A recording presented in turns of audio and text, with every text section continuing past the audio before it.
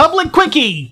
Another division in the crypto world is that between coins with a public ledger and privacy coins. The original Bitcoin was made with a public ledger.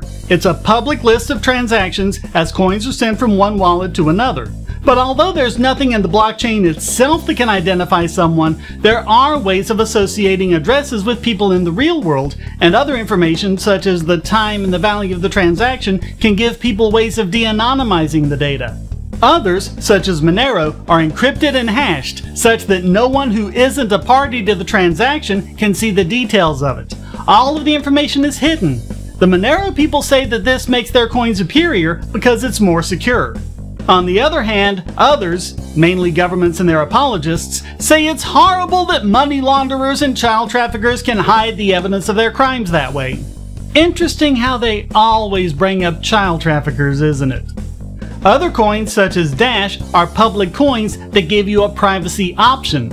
There are also services such as CoinJoin that run on traditional cryptos like Bitcoin and can give you a privacy option. There are good reasons to want to have your transactions public. Maybe you're a charity and you want to keep your finances open and transparent. That'll be much easier with a public coin. But at the same time, there are reasons for private transactions that go beyond criminal activity. What if you're paying employees? Employee salary data must be kept private. Don't just put it on a public blockchain where everyone can see it. The BitTube developers made a privacy coin because of airtime. You don't want people's browsing data to be in a place where it could potentially be de-anonymized to the entire world. Also, beyond privacy, there's an issue of fungibility.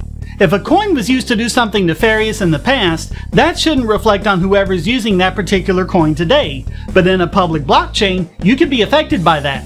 But just one private transaction along the way resets that coin's history, ensuring fungibility.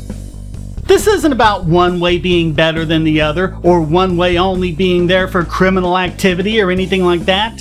It's about being able to choose the way that suits your needs at the time.